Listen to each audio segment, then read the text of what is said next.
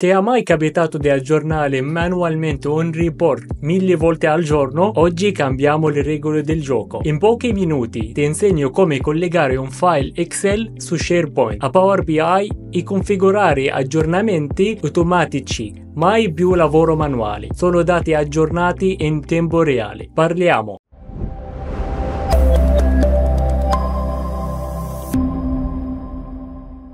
Ciao a tutti e benvenuti sul mio canale. Sono Akam Abushanab e qui parliamo di Data Analytics, Business Intelligence e tutto quello che riguarda il mondo di dati. Nei video di oggi ti guiderò attraverso un processo essenziale, come collegare un file Excel su SharePoint a Power BI o Excel tramite Power Query, pubblicare il report e configurare un aggiornamento automatico in Power BI Service. Prendi carta e penna oppure segui semplicemente il video, parliamo. Step 1. Collegare un file Excel su SharePoint a Power BI Desktop o Excel. Preparare il percorso del file SharePoint o OneDrive, vai su SharePoint, come vediamo qui, OneDrive, e trova il file vuoi collegare. Nel nostro caso il nostro file è Norway New Car e da qui si clicca nelle altre opzioni e si mette apri in app e poi da Excel si va informazione copia percorso. Attenti che non dovremo copiare il SharePoint dovremo copiare proprio da qui altrimenti non funzionerà. Ora apriamo nuova notepad e incolla il percorso. Quindi abbiamo notepad nota che qui dovremo modificare il percorso. Dovremo eliminare la parte finale. Ora dovremo copiare questo percorso e andiamo in Power BI ora vai su ottieni dati data more o più poi da qui dovremo scrivere SharePoint le opzioni SharePoint Folder, Connect, incolliamo il link, poi qui una nota importante di non includere sotto cartelle nel link ogni sistema aziendale o accademico puoi avere un collegamento diverso, ma eh, solitamente link root termina con qualcosa di simile. Nel nostro caso qui abbiamo personal e poi il nome utente. Il percorso qui, come vediamo, quindi tutta questa parte dovrebbe essere eliminato. Il nostro percorso qui finisci con il personal e poi il nome di utente come vediamo qui. Ok trasforma dati e poi da, da destra nella colonna folder abbiamo qui folder path. Filtrare i dati nella colonna folder path individuare la cartella corretta. Però al momento scegliamo una a caso. Nel nostro caso fino documents come abbiamo visto da qui e poi dopo documents abbiamo questo file excel che noi serve a collegare quindi dovremo andare qui o righe filtrati e da qui dovremo modificare il percorso. Dovremo proprio mettere tutto il percorso che noi abbiamo quindi fino documents perché questa è la cartella in cui abbiamo il file che serve a collegare. Dovremo mettere tutto il percorso ok? Poi come vedi e qui vedi il nome del file che serve. Ora siamo nel file. In questo file abbiamo diversi sheet. Quella che interessa per noi, Norway New Car la prima riga di intestazione, form, usa la prima riga come intestato.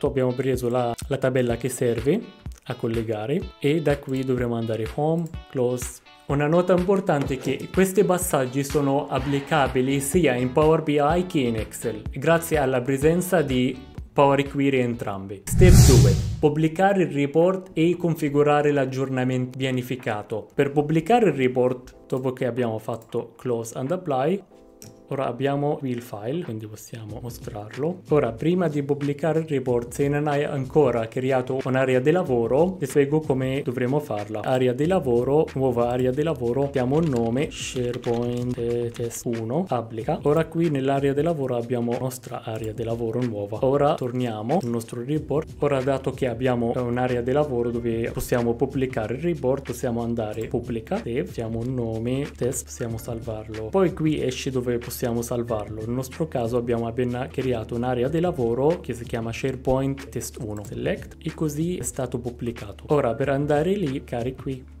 Andiamo subito sul nostro dashboard pubblicata. Ora il passaggio configura l'aggiornamento pianificato. Dovremo andare nella area di lavoro sul Power BI Service, quindi prima andare qui e poi dal nostro modello semantico e dovremo andare sull'opzione pianifica aggiornamento. Ora dovremo andare a un'opzione si chiama credenziale della fonte dati e questo si trova sotto le credenziali dell'origine dei dati. Qui dovremo modificare, mettiamo il metodo di autenticazione o autent 2, impostazione del livello di privacy per questa mettiamo public. Intanto al momento non serve altre opzioni perché non abbiamo privacy nel nostro test. Però se hai altre privacy dipende, dovrei mettere l'impostazione giusta. Accedi nostro caso cedo il mio account accademico, poi ce l'abbiamo fatto. Questo è il primo step. Poi impostare la, la frequenza di aggiornamento. Dovremo andare su aggiorna e mettiamo attiva questa opzione. Ogni giorno possiamo anche scegliere a che ora si serve. Per me anche va bene ogni giorno. Qui riesce a mettere se la persona proprietario del modello semantico o anche eh, se può individuarli a altre persone nel caso che serve persone che sono autorizzate pronti a fare anche questo aggiornamento. Nel mio caso solo io, quindi metto applica. Ora tutto è stato fatto. Questo passaggio molto importante. Ora Power BI eh, aggiornerà automaticamente i dati secondo eh, la pianificazione scelta. Step 3. Verifica dell'aggiornamento per eh, dimostrare che l'impostazione di aggiornamento funziona correttamente. Sul report su Power BI Service, quindi premo tornare qui e andiamo per mostrare che questo report funziona, l'aggiornamento, vorrei mettere nuova azienda, quindi al momento c'è una, un'auto nuova che chiama Xiaomi, al momento non abbiamo Xiaomi come vedete i dati e volevo aggiungerla, vado qui, sto nuovo anno, mettiamo da mese Xiaomi, mettiamo quantità 5, ora questo è stato aggiornato, nostro file, quindi se entriamo qui, nuovo, ce l'abbiamo. Ora dovremo andare di nuovo sul nostro dashboard e per aggiornarla, ora non aspetto il prossimo giorno perché volevo fare un test per vedere se funziona o meno. Per questo volevo subito fare aggiorna adesso. Ora non abbiamo nessun errore, quindi questo significa che è funzionato. Però ci vuole qualche minuto per farlo presente qui, non immediato. Ci vuole il sistema che carica un attimo. Come vediamo qui, questo è l'ultimo dato quando è stato aggiornato a questo orario. Per questo faccio accelerare per questo video.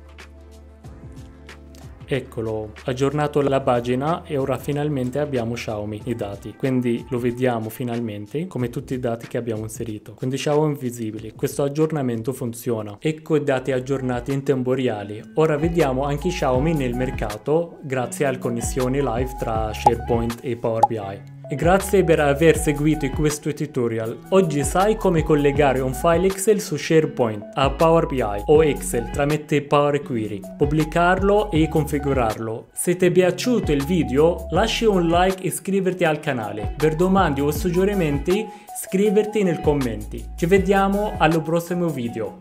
Grazie.